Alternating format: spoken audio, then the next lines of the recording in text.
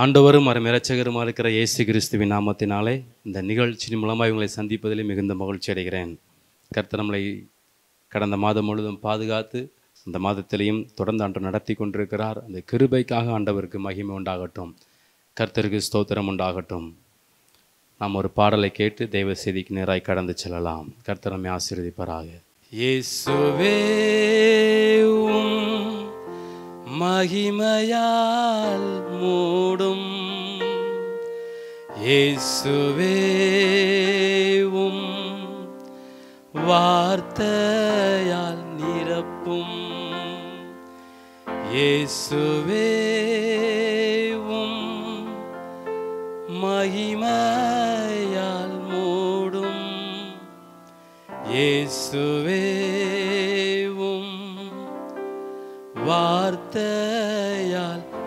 பிறப்பும் ஜீவ ஊற்றாம் உமக்குள் தாகம் தீர்க்கப்பட்டே. ஜீவநதியாம் உமக்குள் மூழ்கி பயணம் தொடர்ந்தே. நீர் போகும் இடமெங்கும் நானும் பயணம் செய்வேன். மோச்சலோகம் முடிவினில் உம்மாலே வந்து சேர்வே இயேசுவே மகிமையா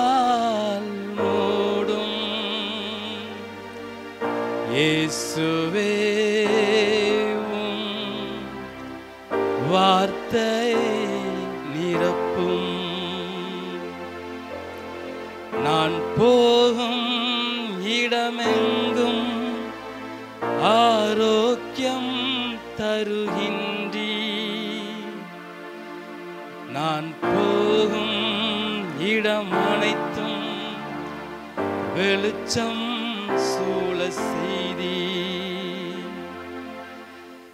நதி போகும் இடமெங்கும் நானும் பயணம் செய்வேன். மோட்சலோகம் முடிவினில் உம்மாலே வந்து சேர்வே இயேசுவே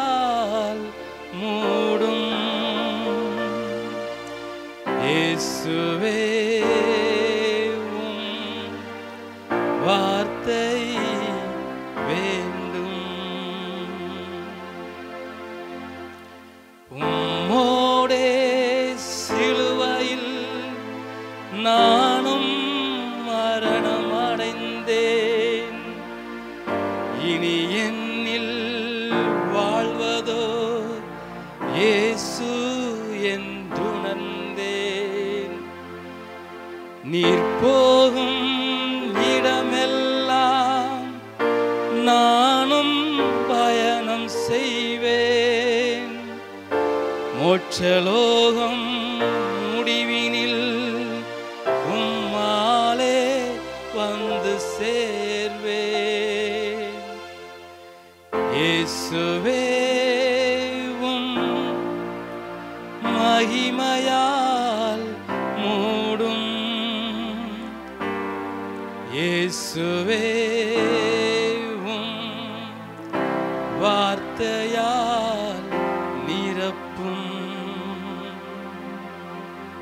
நாம் ஒரு பாடலை கேட்டோம். தேவன் மகிமைப்படுவாராக. லேலூயா நாம் தொடர்ந்து தேவ செய்திக்கு நீராய் கடந்து செல்வோம். ஒரு சிறு ஜெபத்தை ஏறெடுத்து நாம் செல்லலாம். நல்ல பிதாவே நீர் எங்களோட பேசுவதற்காக உமக்கு நன்றி. பரிசுத்த ஆவியானவர் எங்கள் மத்தியில் சேவாடுவதற்காக நன்றி. சகல சத்தியத்திற்குள் எங்கள் நடத்துவதற்காக உமக்கு நன்றி. உடைய வசனம் செல்லும்படியாக எங்கள் இருதயத்தின் வாசல் திறக்கப்படட்டும். இயேசுவின் நாமத்தில் ஜெபங்களும் நல்ல பிதாவே. ஆமேன். ஆண்டவர் நம்மோடு கூட இடைப்படும்படியாய் தியானத்துக்கு எடுத்துக்கொண்ட பகுதி நீதிமொழிகள் மூன்றாம் அதிகாரம் மூன்றாம் வசனம் நான்காம் வசனம்.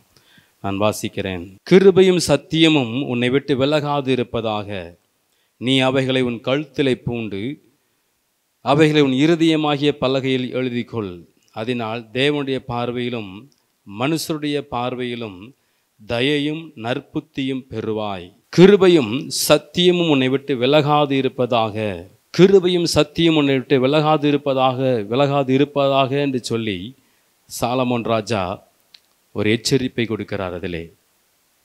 கிருபை என்றால் என்ன? ஒரு மிகப்பெரிய ராஜா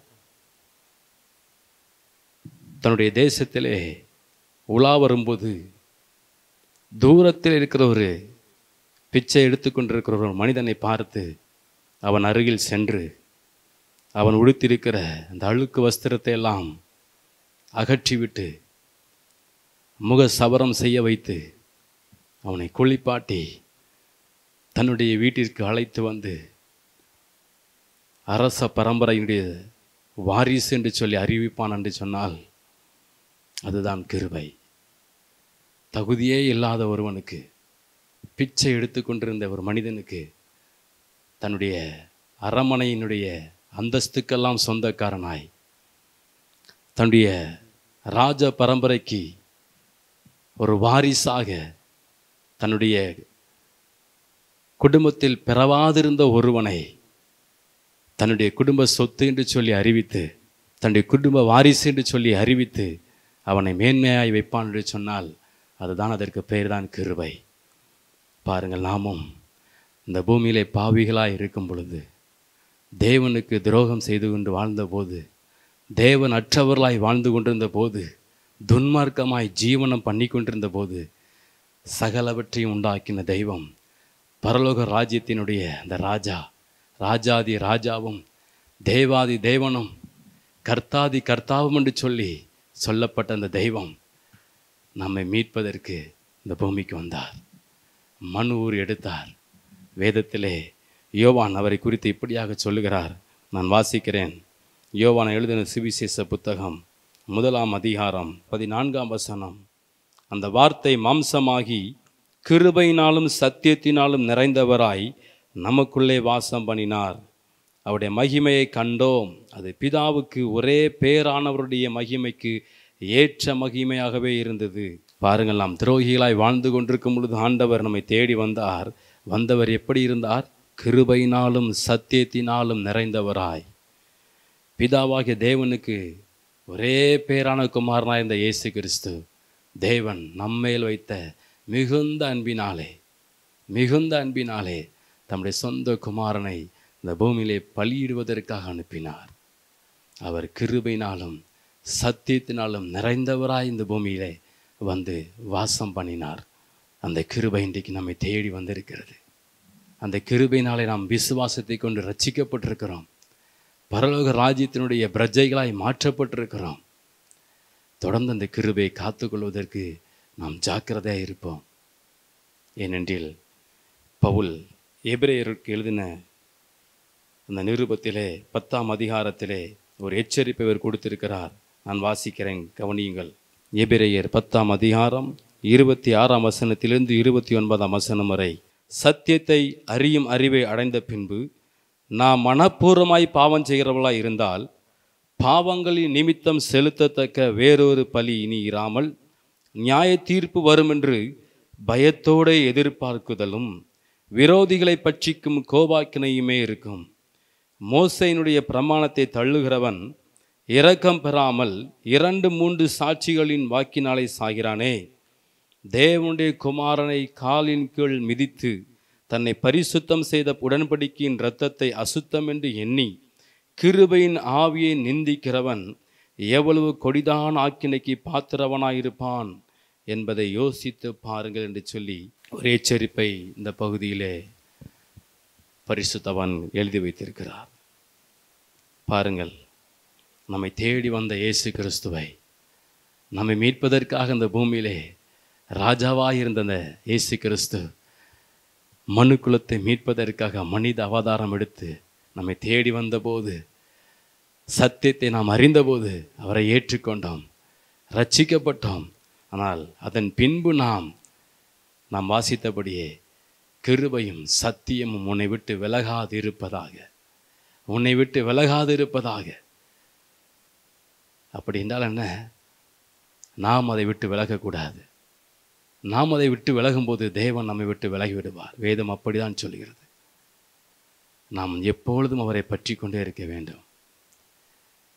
அதை பாருங்கள். சத்தியத்தை அறிந்த பின்பு சத்தியம் என்னதென்று நாம் அறிந்த பின்பு எது செய்யக்கூடாது எதை செய்ய வேண்டும் என்று சொல்லி அந்த அறிவை நாம் பெற்ற பின்பு மனப்பூர்வமாய் நாம் பாவம் செய்வோமானால் நமக்காக ரத்தம் சிந்தின அந்த இயேசு கிறிஸ்துவை காலில் மிதிப்பதற்கு சமம் என்று சொல்லி ஒரு எச்சரிப்பை எழுதி வைத்திருக்கிறார். மாத்திரமல்ல கிருபையின் ஆவியை நிந்திப்பதற்கு சமம் என்று சொல்லி வேதம் சொல்லுகிறது.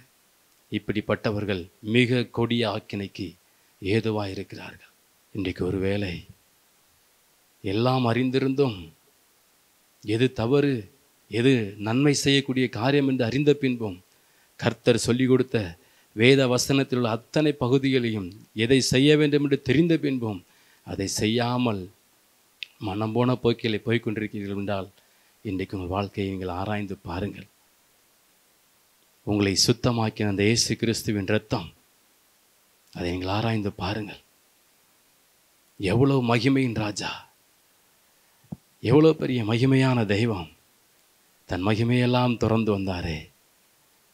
நிந்திப்பதற்கும் அடிக்கப்படுவதற்கும் தன்னை ஒப்பு கொடுத்தாரே நிம்மதியற்ற சூழ்நிலையிலே வாழ்ந்து கொண்டிருந்த போது தேவனற்றவர்களாய் வாழ்ந்து கொண்டிருந்த போது உலக மனிதர்கள் கூட நம்மை ஏற்றுக்கொள்வதற்கு மறுதளித்தவர்களாய் வாழ்ந்து கொண்டிருந்த போது நம் மேல் வைத்த தமது அன்பினாலே ஏதோ ஒரு சுவிசேஷர்கள் மூலமாகவோ இல்லது நேரடியாகவோ உங்களை தேடி வந்த தெய்வத்தை ஏற்றுக்கொண்ட நாட்களில் அந்த ஓடின ஓட்டம் இன்றைக்கு உங்களுக்கு இருக்கிறதா?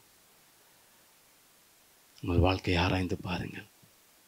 எந்த விஷயத்திலே சத்தியத்தை விட்டு விலகி இருக்கிறீர்கள் எந்த விஷயத்திலே தேவனுடைய வசனத்தை அவமதிக்கிறீர்கள்? அதை ஆராய்ந்து பாருங்கள். அதை விட்டு உங்கள் வாழ்க்கையை சீர்படுத்துங்கள். வழி மாறி போன அந்த வாழ்க்கையை விட்டு விட்டு வாருங்கள். தேவனுடைய சத்தியத்திற்கு நேராய் திரும்புங்கள். சத்தியத்தை விட்டு விலகாதிருங்கள். அப்பொழுது நீங்கள் பிழைப்பீர்கள். அப்பொழுதுதான் நீங்கள் பிழைப்பீர்கள். இல்லை என்று சொன்னால் மிக கொடிய ஆக்கினைக்கு நீங்களே உங்களை உட்படுத்தி கொண்டிருக்கிறீர்கள். சத்தியத்தை விட்டு விலகாதிருங்கள். பாருங்கள் இன்னொரு காரியத்தை நான் உங்களுக்கு பகிர்ந்து கொள்ள விரும்புகிறேன். அப்போஸ்லாகிய பவுல் தேவனுடைய பிள்ளைகளுக்கு விரோதமாய் அவர்களை கொலை செய்வதற்கென்று சொல்லி தீவிரித்து ஓடிக்கொண்டிருந்த பொழுது தேவன் அவர்களை சந்தித்தார். அப்போஸ்லாகிய பவுலை தேவன் சந்தித்தார். அவர் முழுதுமாக தன்னை உடனே அர்ப்பணித்தார். நான் என்ன செய்ய வேண்டும் ஆண்டவரே? என்று சொல்லி. தேவன் அவரை குறித்து இந்த சகல தீர்மானங்களையும் அவரை குறித்து வைத்த இந்த சகல திட்டங்களையும் அவருக்கு வெளிப்படுத்தினார். தொடர்ந்து அந்த பிரயாணத்தை அவர் ஓடிக்கொண்டே இருந்தார். மிகப்பெரிய ஊழியம். ஓடிக்கொண்டிருக்கும் பொழுது இரண்டு குருந்தியர் பன்னிரெண்டாம் அதிகாரம் ஏழாம் வசனத்திலிருந்து நீங்கள் வாசித்து பார்த்தீர்களானால் தொடர்ந்து ஒரு மூன்று வசனத்தை அவர் ஒரு ஜெபத்தை ஏறெடுக்கிறார். என்னுடைய சரீரத்தில் ஒரு முள் தைத்தது போல ஒரு வேதனையை நான் அனுபவிக்கிறேன். சாத்தான் தன்னுடைய தூதனை அனுப்பி என்னை வேதனைப்படுத்துவதற்கு ஒப்பாக அது இருக்கிறது. அது என்னை விட்டு நீங்கும்படிக்கு நான் கர்த்தரை நோக்கி வேண்டிக் கொண்டேன். ஆனால் அவர் எனக்கு சொன்னார் என் கிருபை உனக்கு போதும் என்று சொல்லி. அவர் மூன்று முறை வேண்டிக் கொண்டாராம். ஆனால் இயேசு கிறிஸ்துவ அந்த பலவீனத்தை அவரை விட்டு எடுத்து விடவில்லை அதற்கு மாறாக என் கிருபை உனக்கு போதும் என்று சொல்லி மறுமொழி கொடுத்தார். அந்த பலவீனத்திலே அவர் சொல்லுகிறார் கிறிஸ்துவின் கிருபை என்னை சூழ்ந்து கொள்ளுமாயில் நான் பலவீனங்களில் இன்னும் பிரியப்படுகிறேன். நிந்தனைகளில் இன்னும் பிரியப்படுகிறேன். ஏனெனில் அவருடைய கிருபை எனக்கு போதும். அவர் கிருபை நான் வாஞ்சிக்கிறேன். அவருடைய கிருபை அவருடைய பலம். என்னை சூழ்ந்து கொள்ள வேண்டும் என்பதற்காக என் பலவீனத்தில் கூட நான் மிகவும் பிரியப்படுகிறேன். ஜபிப்பதற்கு முன்பு அவர் சொல்கிறார் மிகுந்த வேதனை முல்லை சரீரத்தில் உடலில் வைத்து தைத்தால் எப்படி இருக்கும் அந்த முள்? நாம் சாதாரணமாக ஒரு முள் குத்திவிட்டால் அதை எடுப்பதற்கே மிகவும் வேதனைப்படுவோம். அவர் சொல்கிறார் அனுதினமும் என்னை இது குட்டும் சாத்தானுடைய தூதனை போல் இருக்கிறது. ஆனால் இயேசு கிறிஸ்து கொடுத்த மறுமொழிக்கு பின்பாக அவர் சொல்கிறார் அந்த பலவீனங்களிலே கர்த்தருடைய பலம் என்மேல் விளங்குவதனால் நான் மிகுந்த சந்தோஷப்படுகிறேன். அதை விட்டு நீங்க வேண்டிய அவசியம் இல்லை ஏனெனில் கர்த்தருடைய பலம் என்னை சூழ்ந்து கொள்ளப் போகிறது. இன்றைக்கு அதே போல் நீங்கள் பலவீனப்படுத்தப்பட்டு பலவீனமான சூழ்நிலையில் இருக்கிறீர்களோ இயேசு கிறிஸ்துக்கு அவரை நோக்கி வேண்டிக் கொண்ட பின்பும் இன்னும் என் பலவீனம் நீங்கவில்லை என்று சொல்லி உங்கள் வாழ்க்கையிலே புலம்பிக் கொண்டிருக்கீர்களோ? கர்த்தருடைய கிருபை உங்களுக்கு போதும். அவருடைய பலம் உங்கள் பலவீனத்தில் அவருடைய பலம் பூரணமாய் வழங்கும் தைரியமாயிருங்கள்.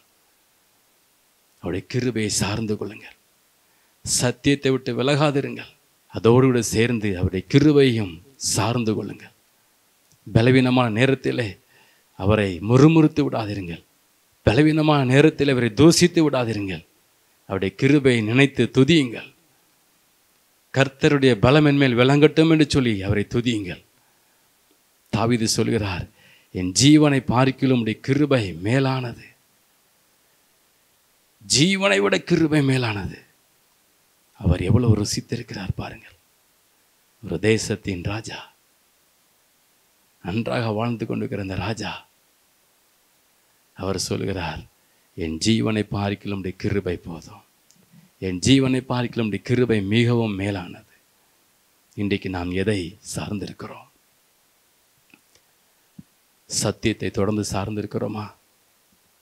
சத்தியத்தின்படி நாம் வாழ்ந்து கொண்டிருக்கிறோமா? ஆராய்ந்து பாருங்கள். கிருபை நாம் சார்ந்து கொண்டிருக்கிறோமா? இல்லை நமக்கு வருகிற பலவீனங்கள் துன்பங்கள் துயரங்கள் நிந்தனைகள் மத்தியில் செல்லுகிற நாட்களில் சோர்ந்து போய்விடுகிறோமா? அப்போஸ்தலனாகிய பவுல் அதன் பின்பு எங்கும் சோர்ந்ததாக எழுதப்படவே இல்லை. தெரிந்து கொள்ளப்பட்ட பின்பு நாம் பாவம் செய்வதற்கு. நாம் அறியாமையுள்ள நாட்களில் தேவன் பொறுமையாக இருந்தார் வேதம் சொல்லுகிறது. ஆனால் நாம் அறிந்த பின்பு சத்தியத்தை அறியும் அறிவை கண்டடைந்த பின்பு நாம் மீறுவோம் என்று சொன்னால் மனப்பூர்வமாய் பாவம் செய்வோம் என்று சொன்னால் தேவனுடைய கோபாக்கினைக்கு நம்ம நாமே விட்டு கொடுக்கிறோம். நோவாவுடைய நாட்களிலே நோவா தேவனுடைய பார்வையில் பார்த்தீர்கள் என்று சொன்னால் தேவன் சொல்கிறார் அவன் நீதிமான் அவன் உத்தமன். அந்நாட்களில் எத்தனை பேர் தேவனை அறிந்திருந்திருப்பார்கள். ஆனால் இவன் ஒருவன் மட்டும்தான் தேவனை அறிந்த பின்பு அதை காத்து கொண்டான் நீதிபரர் அவர். அவர் உத்தமர் அவர் உண்மையுள்ளவர் அவர் பரிசுத்தர். அவருக்கு முன்பாக நானும் அப்படியே வாழ வேண்டும் என்று சொல்லி அவன் வாழ்ந்து கொண்டிருந்தான். ஆகவேதான் தேவனுடைய பார்வையில் அவனுக்கு கிருபை கிடைத்தது. அவன் மட்டுமல்ல அவனுடைய மனைவி அவனுடைய பிள்ளைகள் பிள்ளைகளுடைய குடும்பம் பாதுகாக்கப்பட்டது. இன்றைக்கு நாம் தேவனை அறிந்த பின்பு இயேசுவை போல வாழ்ந்து கொண்டிருக்கிறோமா? இயேசுவை போல வாழ்வதற்காக தான் நாம் அழைக்கப்பட்டிருக்கிறோம்.